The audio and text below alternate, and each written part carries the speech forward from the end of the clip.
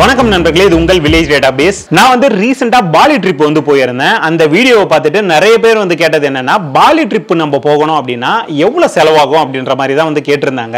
So அதை தான் இந்த வீடியோல நம்ம பார்க்க போறோம். அது மட்டும் இல்லாம பாலிக்கு நம்ம எப்படி போகலாம் எந்த ஃபிளைட்ல நம்ம போகலாம் எங்க தங்கலாம் அந்த ஊர் சாப்பாடு நம்மளுக்கு ஒத்து வருமா ஒத்து வராதா? எனக்கு வந்து பாத்தீங்கன்னா தமிழ் மட்டும் தான் தெரியும். நான் பாலியை சுத்தி பார்க்க முடியுமா? பாலியில நம்ம சுத்தி பார்க்கறதுக்கு என்ன மாதிரியான இடங்கள்லாம் இருக்கு? ஸோ அந்த நாட்டோட கரன்சி என்ன?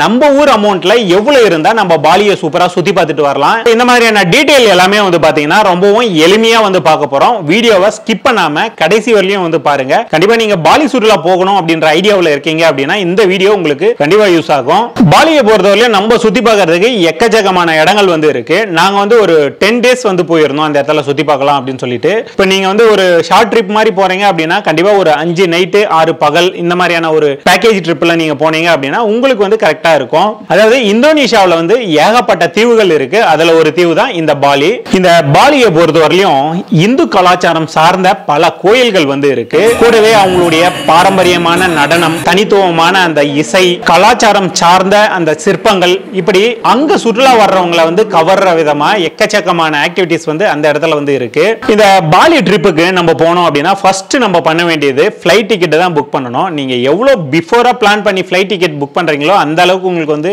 அமௌண்ட் வந்து சேவ் ஆகும். ஃபிளைட் டிக்கெட்டை பொறுத்தவரையிலும் மினிமம் இருபத்தி அஞ்சாயிரம் ரூபாயில இருந்து ஒரு நாற்பதாயிரம் ரூபாய்க்குள்ள ஆவரேஜா நம்ம வந்து புக் பண்ணிடலாம். அப் அண்ட் டவுன் நான் வந்து சொல்றது. ஸோ எங்களுக்கு வந்து பாத்தீங்கன்னா நாற்பதாயிரம் ரூபாய் ஆச்சு ஃபிளைட் டிக்கெட் நாங்க சிங்கப்பூர் ஏர்லைன்ஸ் மூலமா தான் வந்து போயிருந்தோம். அதாவது Chennai to Singapore Singapore to Bali கனெக்டிங்ல தான் போனோம். இப்போ ஒரு சில ஏர்லைன்ஸ் எல்லாம் போனோம் அப்படின்னா ஃபிளைட் டிக்கெட் வந்து இருபத்தி அஞ்சாயிரம் ஆகும். கூடவே வந்து ஒரு அஞ்சாயிரம் ரூபாய்க்கு நம்ம பேக்கேஜ் வந்து அடிஷனலா ஆட் பண்ற மாதிரி இருக்கும். ஸோ சிங்கப்பூர் ஏர்லைன்ஸை பொறுத்தவரையும் அந்த பிரச்சனை வந்து கிடையாது. சிங்கப்பூர் ஏர்லைன்ஸ்ல நாங்க போனதுனால காம்ப்ளிமெண்டரியா அந்த பேக்கேஜ் வந்து செக் இன் பண்ணிக்கலாம். பிளஸ் சாப்பாடு வந்து கொடுத்துருவாங்க. ட்ரிங்க்ஸும் வந்து ஃபிளைட்லயே வந்து நம்மளுக்கு வந்து கொடுத்துருவாங்க. ஸோ அதே மாதிரி நம்ம போகும்போது கொஞ்சம் லக்ஸுரியாவும் இருந்தது. நல்லா இருந்தது இந்த சிங்கப்பூர் ஏர்லைன்ஸ்ல போனது.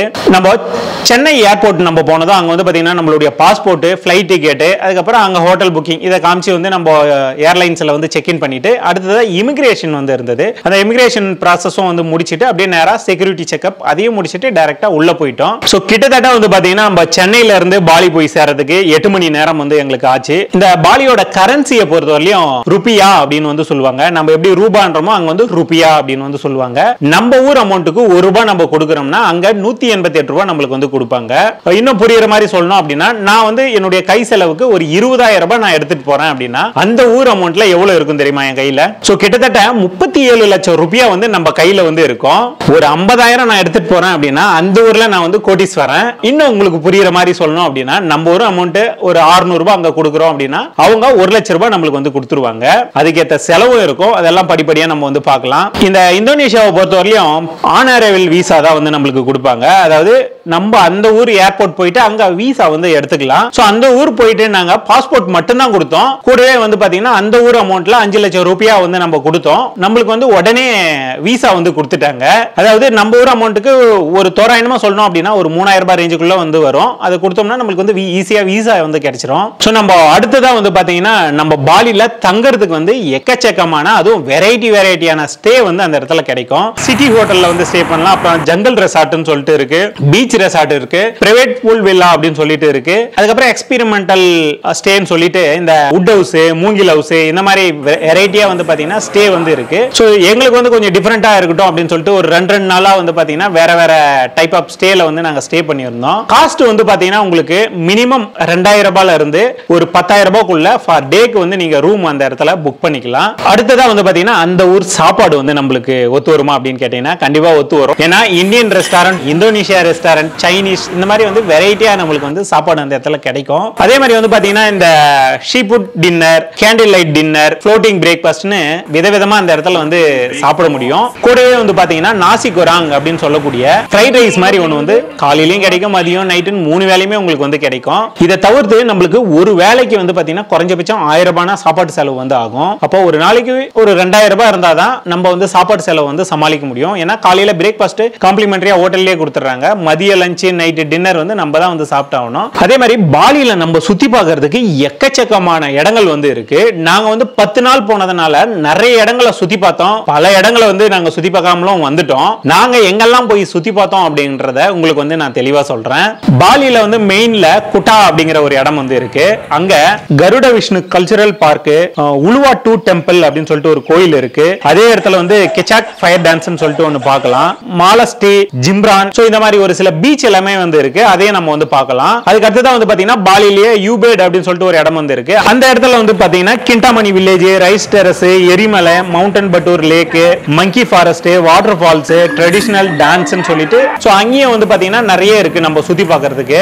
அதுக்கடுத்ததான் வந்து பாத்தீங்கன்னா நார்த் பாலி அப்படின்னு எடுத்துக்கணும்னா கமனயாங் temple Ulun Danu lake temple Handara gate Wanagiri hidden hills Banyumala water falls தனியுங்லா temple. So இந்த மாதிரி இந்த நார்த் பாலிலையும் நிறைய இடங்கள் வந்து இருக்கு. அதே மாதிரி ஈஸ்ட் பாலியை பொறுத்தவரையிலும் த gate of heaven Tirta Gangga water palace Pura Tirta Empul so இந்த மாதிரி வந்து பாத்தீங்கன்னா ஈஸ்ட் பாலிலையும் நிறைய இடங்கள் வந்து நம்ம போய் சுத்தி பார்த்தோம். இதுக்கு அடுத்து ஐலாண்டு அப்படின்னு பாத்தீங்கன்னா நூசா பெனிடா அப்படின்னு சொல்லிட்டு ஒரு ஐலாண்டு வந்து நம்ம போயிருந்தோம். அந்த நூசா பெனிடா ஐலாண்ட்லயே வந்து பாத்தீங்கன்னா Kelingking beach diamond beach broken beach crystal bay இந்த மாதிரி வந்து பாத்தீங்கன்னா நிறைய பீச் இருக்கு. நான் சொல்லாத இன்னும் ஒரு சில பீச் எல்லாமே வந்து இருக்கு. அதெல்லாம் கூட போய் நம்ம அந்த நூசா பெனிடா ஐலாண்ட்ல வந்து நம்ம சுத்தி பார்க்க முடியும். அதுக்கு அடுத்து தான் வந்து பாத்தீங்கன்னா பாலியில நிறைய ஆக்டிவிட்டிஸ் வந்து இருக்கு. அதாவது ரிவர் ராப்டிங் சொல்லுவோம் இல்லையா? அது அப்புறம் ஏடிவி பாலி ஸ்விங்கு ஜிப்லைனு அப்புறம் ஜிப்லைன்லேயே வந்து பார்த்தீங்கன்னா சைக்கிளிங் ஸோ இந்த மாதிரியான ஆக்டிவிட்டிஸும் அதுக்கப்புறம் பீச் சைடு நம்ம போனோம் அப்படின்னா பீச் வாட்டர் ஸ்போர்ட்ஸ்னு சொல்லுவோம் இல்லையா? அது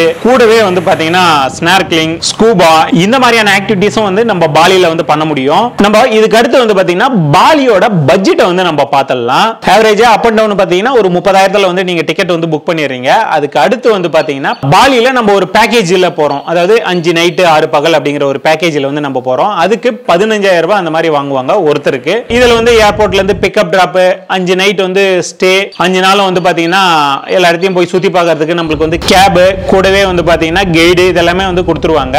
ஸோ நம்மளுக்கு எக்ஸ்ட்ரா செலவுக்கு வந்து ஒரு இருபத்தஞ்சாயிரம் ரூபாய்னா இருக்கணும். நான் சொல்றது குறைஞ்சபட்சம் தான். ஸோ அதிகமாக உங்கள் கையில் எவ்வளோ இருந்தாலும் சரி ஆனால் குறைஞ்சபட்சம் இருபத்தஞ்சாயிரம் ரூபாய்னா வந்து இருக்கணும். ஏன்னா ஆக்டிவிட்டீஸ்க்கு வந்து பார்த்தீங்கன்னா ஒரு ஆறாயிரத்தி ஐநூறுரூபா வந்து ஆகும். அதாவது நான் சொல்றது river rafting ATV Bali swing இதெல்லாமே ஒரு பேக்கேஜ் மாதிரி கொடுக்குறாங்க. அது தவிர்த்து நம்ம என்ட்ரி டிக்கெட் இருக்கு இல்லையா? அங்கங்க நம்ம போறோம் இல்லையா? அங்க என்ட்ரி டிக்கெட்டுக்கே வந்து பாத்தீங்கன்னா ஒரு நாலாயிரம் ரூபாய் வந்து செலவாகும். இது தவிர்த்து லஞ்ச் அண்ட் டின்னர் வந்து இருக்கு. சப்போஸ் நம்ம இந்த ஆக்டிவிட்டிஸ் எல்லாம் பண்றோம் இல்ல நூசா பெனிடா போறோம்னா அன்னைக்கு லஞ்ச் வந்து அவங்களே பேக்கேஜ்ல கொடுத்துருவாங்க. அதை தவிர்த்துட்டு பார்த்தோம்னாலும் குறைஞ்சபட்சம் நம்மளுக்கு ஒரு பத்தாயிரம் ரூபாய் வந்து பாத்தீங்கன்னா சாப்பாட்டு செலவு வந்து ஆகும். அப்போ நம்மளுக்கு வந்து பாத்தீங்கன்னா ஃபிளைட் டிக்கெட்டு விசாக்குன்னு சேர்த்து ஒரு முப்பத்தி மூணாயிரம் ரூபாய் ஆகும். கூடவே பேக்கேஜ் காஸ்ட் அப்படின்னு சொல்லிட்டு ஒரு பதினஞ்சாயிரம் ரூபாய் வந்து ஆகும். எக்ஸ்ட்ரா செலவு அப்படின்னு சொல்லிட்டு இருபத்தி அஞ்சாயிரம் ரூபாய் நம்மளுக்கு வந்து செலவாகும். ஸோ அப்போ நம்ம வந்து பார்த்தீங்கன்னா ஒரு தோராயணமாக நம்மளுக்கு ஒரு எழுபதாயிரம் டு எண்பதாயிரத்துக்குள்ள இருந்தால் ஒருத்தர் போய் ஜாலியாக அந்த பாலியை வந்து சுற்றி பார்த்துட்டு வர முடியும். பாலியை பொறுத்தவரையும் அங்கே வந்து நம்ம சுற்றி பார்க்கறதுக்கு ஒரு முப்பது டு நாற்பதாயிரத்தில் சுற்றி பார்த்தலாம் ஆனால் ஃப்ளைட் டிக்கெட் தான் வந்து நம்மளுக்கு ஜாஸ்தி ஆகிற மாதிரி வந்து தெரியும். இப்போ நான் சொன்னேன் இல்லையா இந்த அமௌண்ட் வந்து பார்த்தீங்கன்னா எல்லா செலவுமே அதுக்குள்ளேயே வந்து வந்துடும் நீங்கள் எக்ஸ்ட்ராவாக எந்த செலவும் பண்ண தேவையில்ல. ஏ டு Z எல்லா செலவும் இந்த அமௌண்ட்லேயே வந்து உங்களுக்கு வந்துடும் அப்போ ரெண்டு பேர் நீங்கள் போகிறீங்க அப்படின்னா குறைஞ்சபட்சம் ஒரு ஒன்றரை லட்சம் இருந்தால் தான் நீங்கள் வந்து ரெண்டு பேர் போய் சுற்றி பார்த்துட்டு வர முடியும். நான் இந்த பாலி சுற்றுலா பொறுத்தவரையும் இமானுவேல் ஹாலிடேஸ் அப்படிங்கிற ஒரு டிராவல் ஏஜென்சி மூலமாக தான் வந்து புக் பண்ணி போயிருந்தேன். அவங்க வந்து பார்த்தீங்கன்னா ஏகப்பட்ட பேக்கேஜ் வந்து வச்சிருக்காங்க. அவங்க என்ன மாதிரியான பேக்கேஜ் எல்லாமே வச்சிருக்காங்க அப்படின்றத வந்து நான் டிஸ்கிரிப்ஷன்ல வந்து மென்ஷன் பண்ணியிருக்கேன். கூடவே வந்து பாத்தீங்கன்னா இமானுவேல் ஆல்டேஸோட கான்டாக்ட் நம்பர் எல்லாமே வந்து பாத்தீங்கன்னா டிஸ்கிரிப்ஷன்ல இருக்கு. சப்போஸ் நீங்க பாலி ட்ரிப் போகணும் அப்படின்ற ஐடியாவில் இருந்தீங்க அப்படின்னா ஏதாச்சும் டிராவல் ஏஜென்சியோட கான்டாக்ட் நம்பர் தேவைன்னா டிஸ்கிரிப்ஷன்ல இருக்கு. அதை யூஸ் பண்ணி நீங்க தாராளமா போயிட்டு வரலாம். இந்த வீடியோ பொறுத்தவரை கண்டிப்பா உங்களுக்கு பிடிச்சிருக்கும் அப்படின்னு நான் நம்புறேன். அதே மாதிரி வந்து பாத்தீங்கன்னா நம்ம சேனல்ல போடக்கூடிய அந்த வீடியோஸ் தொடர்ந்து நீங்க பார்க்கணும் அப்படின்னு நினைச்சீங்கன்னா வில்லேஜ் டேட்டாபேஸ் அப்படிங்கிற யூடியூப் சேனலை வந்து சப்ஸ்கிரைப் பண்ணீங்க. கூடவே அந்த பெல் பட்டனையும் பிரஸ் பண்ணுங்க. அப்பதான் நம்ம போடக்கூடிய அந்த வீடியோஸ் தொடர்ந்து உங்களுக்கு வரும். நீங்களும் வந்து பார்த்து என்ஜாய் பண்ணுவீங்க. இந்த வீடியோ நீங்க பேஸ்புக் பேஜ்ல பார்த்துட்டு இருக்கீங்க அப்படின்னா பேஸ்புக் பேஜும் இருக்கு. அதையும் வந்து ஃபாலோ பண்ணிக்கங்க. இன்ஸ்டாகிராமும் இருக்கு. அதையும் வந்து ஃபாலோ பண்ணிக்கங்க. நன்றி வணக்கம்.